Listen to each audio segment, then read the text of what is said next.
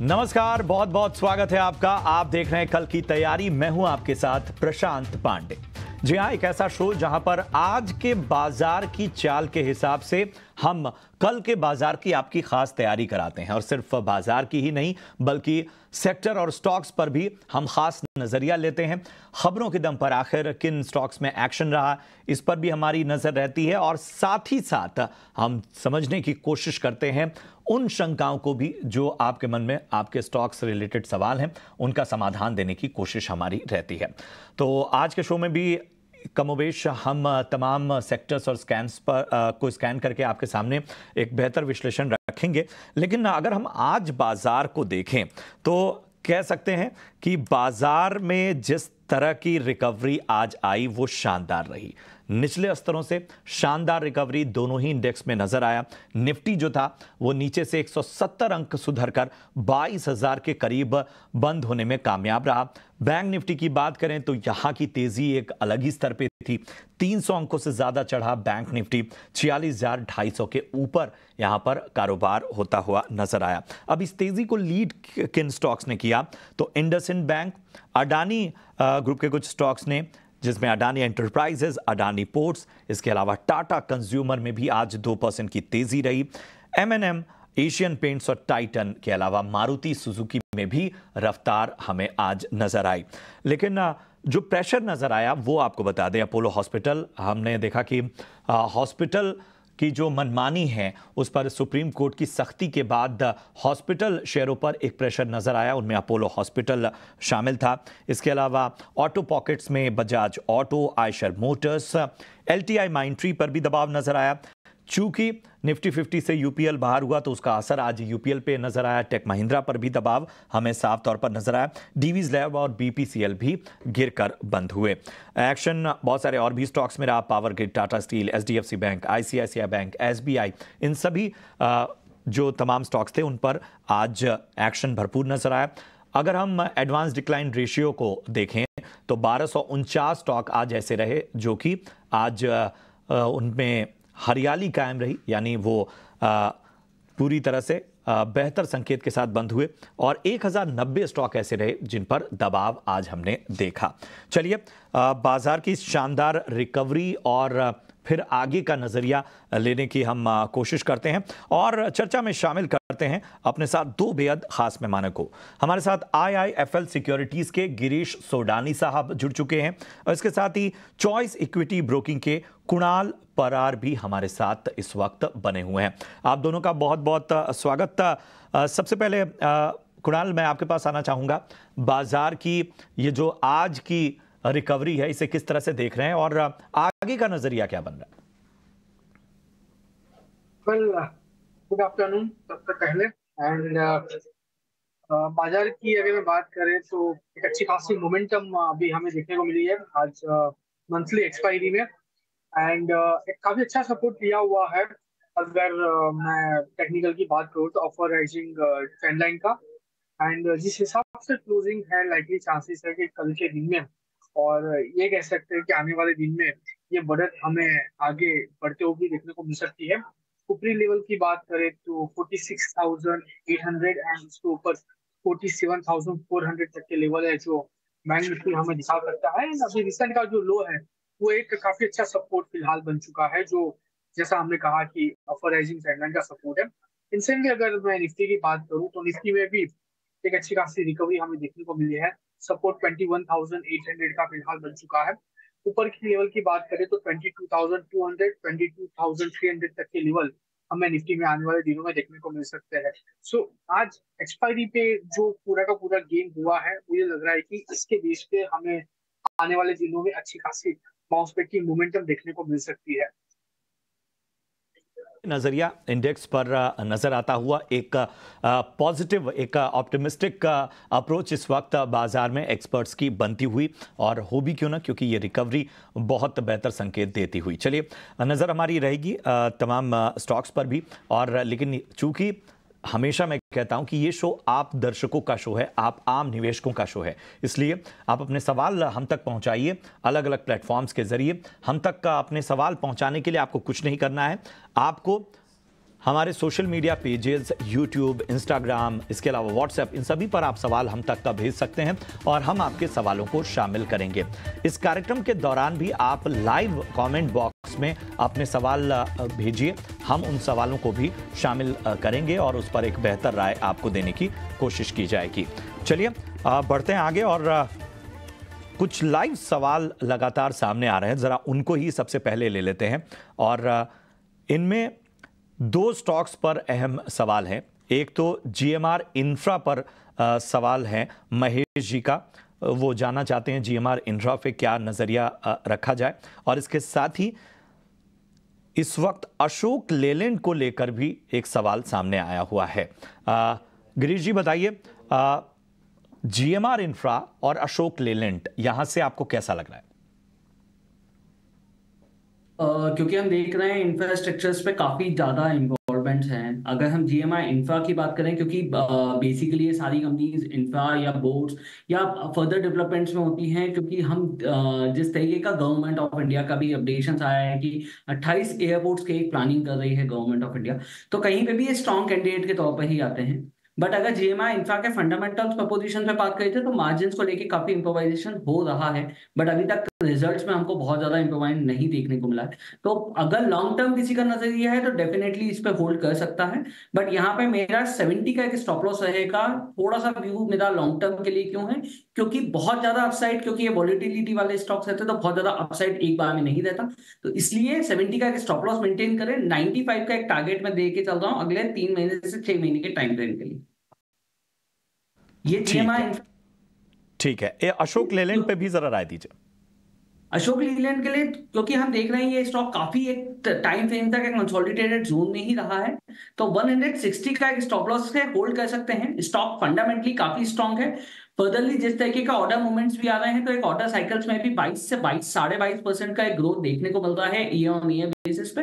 तो इसको होल्ड करके रखें। 200 तक का एक लक्ष्य यहाँ पे रख सकते हैं अगले छह महीने के ये नज़रिया अशोक लेलैंड और जी एम आर इंफ्रा पे। चलिए बढ़ते हैं आगे। अनूप मित्तल का सवाल हमें यूट्यूब के ज़रिए आया हुआ है और इनका सवाल आईआरसीटीसी पे है। 100 शेयर इनके पास हैं, आठ सौ तिहत्तर के भाव पे इन्होंने लिया हुआ है। फ़िलहाल इनके भाव से ऊपर ये स्टॉक और मुनाफा भी इनको होता हुआ, लेकिन रेलवे काउंटर्स में आज हमने देखा कि तेज़ी भी नज़र आई। कुछ चुनिंदा जो रेलवे स्टॉक्स थे, उनमें एक अच्छा मोमेंटम नज़र आया। तो क्या ये तेज़ी आगे कायम रह सकती है? चलिए इस पर एक राय लेते हैं और एक जो पूरे इस सेक्टर में देखे कि एक अच्छी रैली नज़र आई है। कुणाल जरा बताइए आईआरसीटीसी क्या नज़रिया बन रहा है आपका? कल पर्टिकुलर काउंटर्स की अगर मैं बात करता हूँ, एक अच्छी खासी मोमेंटम आईआरसीटीसी में मुझे देखने को मिल रही है। 927 के अराउंड क्लोजिंग है एंड रिसेंट लेवल से नो डाउट ऑलरेडी खरीदारी है। मैं कहूँगा अगर एवरेज करना चाहे तो भी कर सकते हैं। ऊपरी लेवल की बात करें तो नीचे में फ़िलहाल एक काफ़ी अच्छा सपोर्ट आ रहा है। सपोर्ट हम एट एटी पे मेंटेन करके चलेंगे। ऊपर की लेवल की बात करें नाइन नाइनटी फाइव पहला लेवल है। नाइन नाइनटी फाइव जैसे ही क्रॉस होता है one way one zero five zero तक के भी लेवल हमें स्टॉक में देखने को मिल सकते हैं। तो व्यू पॉजिटिव साइड का ही है। एट एटी के एस के साथ खड़े रहने का व्यू बन रहा है। ऊपर में नाइन नाइनटी फाइव से लेके वन ज़ीरो फाइव ज़ीरो तक के लेवल हमें आई सी टी सी दिखा सकता है आने वाले दिनों ये नज़रिया आईआरसीटीसी पे आप आपको बने रहने की सलाह, बेहतर संकेत यहाँ से मिलते हुए। फूल चंद्र सिंह हैं और इनका सवाल निपॉन लाइफ पे है और बहुत ही शानदार लेवल पे इन्होंने ये स्टॉक में एंट्री की है और, डबल से भी ज़्यादा इस वक्त हम देख रहे हैं कि इनके स्टॉक में इस वक्त रैली नज़र आ रही है। बताइए गिरीश, क्या करना चाहिए? निपॉन लाइफ में दो सौ पचासी की खरीद है। स्टॉक ऑलरेडी 52 वीक्स हाई पे ही लगभग ट्रेड कर रहा है। तो uh, मेरा सजेशन तो यही होगा कि या तो एक अगर थोड़ा सा लॉन्ग टर्म नज़रिया है छह से साल भर के टाइम फ्रेम का तो एक स्टॉप लॉस मेंटेन करना डेफिनेटली बनता है। तो 470 का एक स्टॉप लॉस यहाँ से मेंटेन करके रखिए। एंड जैसे ही ये ऊपर बढ़ता जाता है स्टॉप स्टॉप लॉस को रिवाइज करते रहे अपना। एंड अगर ये शॉर्ट टर्म नज़रिया है तो मेरा सजेशन यही रहेगा कि पार्शल प्रॉफिट बुक कर लें एंड होल्ड करें फिर पोजिशन ठीक है ठीक है। तो ये नज़रिया फ़िलहाल आपको निपॉन लाइफ पर मिलता हुआ। बढ़ते आगे। इंद्रजीत सिंह है, जियो फाइनेंशियल के स्टॉक, इनके पास हैं और डेढ़ सौ इनके पास शेयरों की संख्या है। तीन सौ उनतालीस के भाव पे इन्होंने लिया हुआ है। आज जियो फाइनेंशियल सर्विसेज़ पे बहुत सारे सवाल हमारे पास आ रहे हैं। गिरीश, आपसे ही नज़रिया चाहेंगे जियो फाइनेंशियल पे क्या करना चाहिए? देखिए, जियो फाइनेंशियल का अगर किसी को व्यू रखना है तो थोड़ा सा उसको लंबा रखना पड़ेगा, क्योंकि एक नई ग्रोइंग कंपनी है ग्रोइंग इंडस्ट्री है तो धीरे धीरे उसमें थोड़ा सा रिवाइजेशन आएगा। जैसे कि हम देख रहे हैं कि म्यूचुअल फंड्स को लेके ऑलरेडी इनका एक अप्रूवल आ चुका है। कोलाबोरेशन हो रहे हैं ऑलरेडी क्लाइंट डेटाबेस है इनके पास में। अगर हम रिलायंस के डिटेल्स की बात करें, जैसे मैनेजमेंट ने ऑलरेडी एक इन्वेंट्री बोली थी तो व्यू आपको थोड़ा सा बड़ा रखना पड़ेगा बट इसका जो स्टॉप लॉस है, क्योंकि ये ऑलरेडी थोड़ी ऊपर की खरीदी पर है तो मैं इसका एक स्टॉप लॉस देना चाहूँगा। ये 280 का मैं एक स्टॉप लॉस रख रहा हूँ। ये क्लोजिंग बेसिस का स्टॉप लॉस है। यहाँ से ये होल्ड करके रखे बट व्यू छह महीने से लेकर साल भर का होना चाहिए तो यहाँ पर साढ़े सौ पाँच तक के भी लक्ष्य हम देख सकते हैं। ठीक है। ये नज़रिया फ़िलहाल जियो फाइनेंशियल सर्विसेज़ पे। दीपक मित्तल हैं। इनका सवाल बंधन बैंक पे है। पचहत्तर सौ शेयरों की संख्या इनके पास है। 210 के भाव पे इन्होंने इसमें एंट्री ली है। इसके अलावा एक और सवाल है इनका और वो है आदित्य बिरला कैपिटल पे। 160 के भाव पे 10,000 शेयर इन्होंने लिए हुए हैं। चलिए इन दोनों स्टॉक्स पर आपको राय देते हैं। सबसे पहले बंधन बैंक पर कुणाल राय दीजिए। हम देख रहे हैं कि इस वक्त बंधन बैंक पे आज प्रेशर नज़र आया है। हालाँकि इनकी खरीद भी ऊपरी स्तरों पे है। क्या होगी राय? बंधन बैंक, मैं कहूँ तो यहाँ से बंधन बैंक में जो पोजीशन है, उसको कैरी करके ही चलना चाहिए।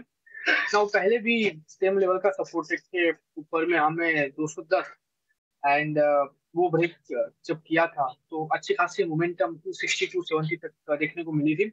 फ़िलहाल व्यू यही बन रहा है कि नीचे एक स्ट्रिक्ट एसएल मेंटेन करके चल रहे वन नाइनटी का ओके वन नाइनटी के सपोर्ट से पहला टारगेट दो सौ दस का है, जो उनकी खरीदारी है। जैसे ही दो सौ दस ब्रेक होगा, ये हमें मिनिमम टू थर्टी फाइव तक के लेवल दिखा सकता है। तो व्यू पॉजिटिव साइड का है। वन नाइनटी के एसएल के साथ पोजिशन जो है, उसको होल्ड करके चलने की सलाह है। इनका एबी कैपिटल पे 160 की खरीद है। जरा इस पर भी राय दें। कैपिटल की बात करें वन एटी थ्री चल रहा है, उनकी वन सिक्सटी की खरीदारी है। पॉजिटिव है ट्रेंड अभी फ़िलहाल। एंड पिछले एक दो दिन में जो मोमेंटम हमें मार्केट में देखने को मिली, उसकी वजह से स्टॉक में थोड़ा सा ऊपरी लेवल से हमें प्रॉफिट बुकिंग देखने को मिला। मेरा मानना है इसमें जो पोजीशन है, उसको बनाए रखना चाहिए। इमीडिएट बेसिस पे 195 है, पहला टारगेट और जैसे ही 195 एक स्टॉक क्रॉस करता है वन वे ऊपर में हमें 237 तक के भी लेवल स्टॉक दिखाने में सक्षम है। ठीक है। तो दोनों ही स्टॉक्स पर नज़रिया फ़िलहाल पॉजिटिव। आईएफसीआई लिमिटेड पे सवाल है नरेंद्र भट्ट का, चालीस रुपए की खरीद और आज हम देख रहे हैं कि लगभग पाँच परसेंट ये स्टॉक ऊपर भागा। आईएफसीआई लिमिटेड क्या नज़रिया होगा? गिरीश जी बेसिकली एक नए कोलाबोरेशन के ऊपर काफ़ी मूवमेंट है। जैसे आज एनबीसीसी का इनके साथ में एक एमओयू साइन हुआ, जिसकी वजह से इस स्टॉक में हमने काफ़ी तेज़ी अच्छी देखी है। एक ऑर्डर बुक्स ऑलरेडी 150 करोड़ का मिला है। बट ओवरऑल अगर स्ट्रक्चर है तो स्ट्रॉन्ग ही है, क्योंकि ऑर्डर बुक्स धीरे धीरे इन्होंने काफ़ी अच्छे रिवाइज करे हैं। अगर हम लास्ट तीन क्वार्टर्स की भी बात करें तो रिजल्ट्स में भी इम्प्रोवाइजेशन दिखाई दिया है। तो होल्ड करके रखें यहाँ से बट स्टॉप लॉस लगा लें थर्टी का एंड पोजिशन को होल्ड करें। ठीक है तो ये राय आईएफसीआई लिमिटेड पे यहाँ पर भी बने रहने की आपको सलाह। सुरेंद्र सिंह है हमारे अगले दर्शक का विप्रो पे इनका सवाल है। 1500 स्टॉक्स हैं इनके पास 600 के भाव पे इन्होंने यहाँ पर एंट्री लिया और नुकसान अच्छा खासा यहाँ पर होता हुआ। हम आईटी काउंटर्स पर प्रेशर भी लगातार देख रहे हैं। तो चलिए गिरीश, ज़रा बताइए, विप्रो में क्या रणनीति अपनानी चाहिए? 600 की खरीद है। देखिए विप्रो में एक और बहुत बड़ा प्रॉब्लम है कि डाउनग्रेड आया है। काफ़ी इंस्टीट्यूशन एजेंसीज ने, काफ़ी रिसर्च ने डाउनग्रेड दिया है। जिस वजह से आई थिंक शायद इस स्टॉक के अंदर हम काफ़ी प्रेशर देख रहे हैं। बट जिस तरीके का इनका रीस्ट्रक्चरिंग है, वो रीस्ट्रक्चरिंग अभी तक कंप्लीट नहीं हुआ है, क्योंकि इन्होंने बायबैक जिस तरीके से लेके आए थे तो एक प्रोसेस थी रीस्ट्रक्चरिंग की। तो इस चीज़ के लिए अभी थोड़ा सा प्रेशर हमें डेफिनेटली देखने को मिलेगा। बट यहाँ पे अगर उनका थोड़ा सा व्यू लॉन्ग टर्म का है तो मेरे लिए 490 का एक स्टॉप लॉस मेंटेन करके रखें क्लोजिंग बेसिस पे, क्योंकि पोजीशन ऑलरेडी बहुत हाई की है तो यहाँ पे लॉस बुक करने की तो डेफिनेटली सलाह नहीं देंगे। 490 का एक स्टॉप लॉस मेंटेन करें, आगे आने वाले अगर रिवाइजेशन में 600 साढ़े छह का एक लेवल दिखाई देता है तो एक बार का एग्जिट कर लें। ठीक है तो यहाँ पर आपको एक खास रणनीति के तहत स्टॉक को ट्रैक करना होगा। चलिए अगला सवाल, अडानी विल्मर पे पूछा है, धर्मेंद्र पाल ने। तीन सौ तिहत्तर की खरीद है और ये स्टॉक इनके भाव से दस रुपए ऊपर इस वक्त। कुणाल अडानी विल्मर, क्या नज़रिया बन रहा है आपका? लेवल की बात करूँ, अभी 381 के अराउंड स्टॉक ट्रेड कर रहा है और मेरा ये मानना है कि स्टॉक फ़िलहाल अपने 20 ईएमए के ऊपर अभी ट्रेड कर रहा है। लाइकली चांसेस है यहाँ से फर्दर अपसाइड की मोमेंटम भी हमें अदानी विल्मर में देखने को मिल सकती है। ऊपरी लेवल की बात करें, पहला टारगेट 408 का है और जैसे ही 408 क्रॉस होगा वन में ऊपर में 450 तक के भी लेवल स्टॉक हमें दिखा सकता है। तो व्यू पॉजिटिव साइड का है। होल्ड करके चलने की सलाह है। तो यहाँ पर होल्ड करने की सलाह नज़रिया पॉजिटिव अगले जो दर्शक हैं, अजय कुमार, पंजाब से उन्होंने अपना सवाल हम तक पहुँचाया है। जुबिलेंट फ़ूड इन्होंने ले रखा है चार सौ इक्यासी के भाव पे। 600 स्टॉक्स इनके पास इस वक्त जुबिलेंट फ़ूड वर्क्स के हैं। फ़िलहाल इनके भाव से स्टॉक का नीचे।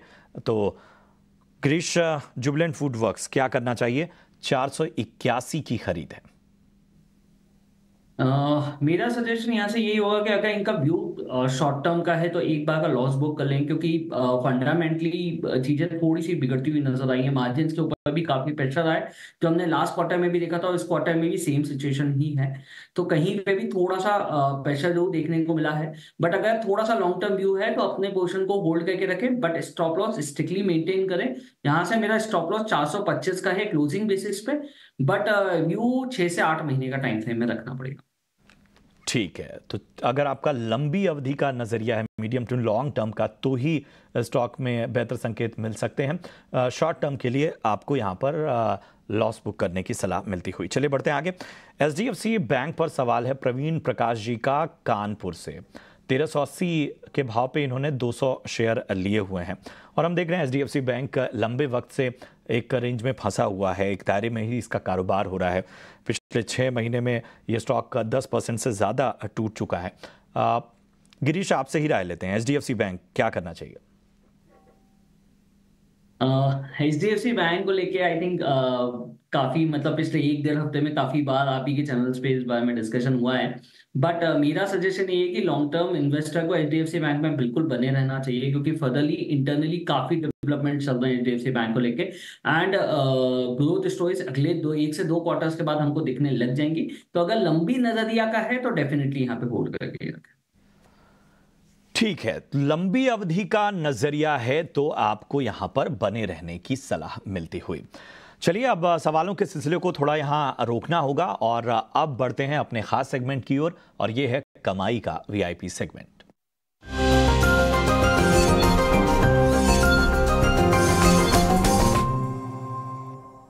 तो हमारे दोनों खास एक्सपर्ट्स तैयार अपनी अपनी वीआईपी पिक के साथ।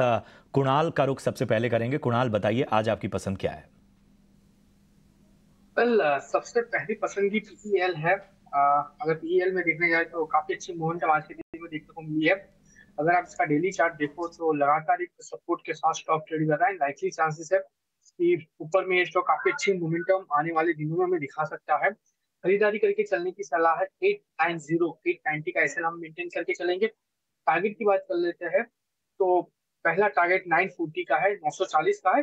जो इसका रिसेंट का हाई भी है और जैसे ही 940 ब्रेक होता है ऊपर में 970 तक के भी लेवल हमें स्टॉक दिखा सकता है। तो पीईएल यहाँ से खरीदारी करके चलने की सलाह है। और दूसरा जो स्टॉक है सूर्या रोशनी है एक काफ़ी अच्छी मोमेंटम हमें देखने को मिली है आज के दिन में। एंड स्टॉक uh, में ऊपरी लेवल से जो गिरावट आई है वो गिरावट फाइव नाइनटी के लेवल पे आके रुकी है जो इसका पहले एक स्ट्रॉन्ग रेजिस्टेंस था अभी एक स्ट्रॉन्ग सपोर्ट बन चुका है। तो सूर्या रोशनी हम खरीदारी करके चलेंगे फाइव एटी कैसल के साथ पहला टारगेट 621 का होगा और वो जैसे ही ब्रेक करेगा दूसरा टारगेट 650 का भी हमें देखने को मिल सकता है। ठीक है तो सूर्या रोशनी 621 और 650 के लक्ष्यों के लिए पीरामल एंटरप्राइजेज 940 और 970 के लक्ष्यों के लिए पसंद आता हुआ इस वक्त कुणाल जी को। गिरीश आपके पास आएँगे आप बताइए आप आज कहाँ फोकस कर रहे हैं? देखिए हमारी रिसर्च टीम ने फंडामेंटली एक पिक निकाला है डेट इज़ जोमेटो जिस तरीके से हम देख रहे हैं कि काफ़ी फर्दरली एक अच्छे डेवलपमेंट्स आए जोमेटो के अंदर। तो कहीं पे भी हमारा जो लक्ष्य है वो छह महीने के लिए 220 के प्लस का ही है। द रीजन बिहाइंड इज़ कि मार्जिन के ऊपर काफ़ी अच्छे तरीके से इम्प्रोवाइजेशन हुआ है। चार परसेंट का मार्जिन हालाँकि अभी निकल के आ रहा है बट कहीं पे भी हम एक्सपेक्ट कर रहे हैं कि मार्जिन साढ़े छह से सात परसेंट नेट मार्जिन के ऊपर आ जाएगा। रिटर्न में भी काफ़ी अच्छी कैलकुलेशन करी है। ब्लैंकेट में जिस तरीके का हम एक्सपांशन देख रहे हैं कंपनी के अंदर तो वो काफ़ी स्ट्रांगली निकल के आ रहा है। कंपनी ऑलरेडी अपने ई कॉमर्स और डिलीवरी प्रपोजिशन दोनों में काफ़ी अच्छी तरीके से काम कर रही है। एंड ये सारे के सारे रिज़ल्ट हमको अगले एक से दो क्वार्टर्स में देखने लग जाएँगे। इज़ कहीं पे भी ये लेवल हमको बहुत इजीली अचीव होता हुआ नज़र आएगा 220 तक का बट अगर किसी का होरिजन एक से डेढ़ साल तक का है तो 250 से 300 तक का लक्ष्य भी हम यहाँ से कैरी करेंगे। ठीक है तो जोमेटो लंबी अवधि के लिए छः महीने का नज़रिया 220 का, और अगर आपका एक से डेढ़ साल का नज़रिया है तो इसके ऊपर तक के भी लक्ष्य हासिल हो सकते हैं। फ़िलहाल एक सौ सड़सठ पर कारोबार करता हुआ आज पाँच परसेंट की लगभग तेज़ी यहाँ पर नज़र आई है।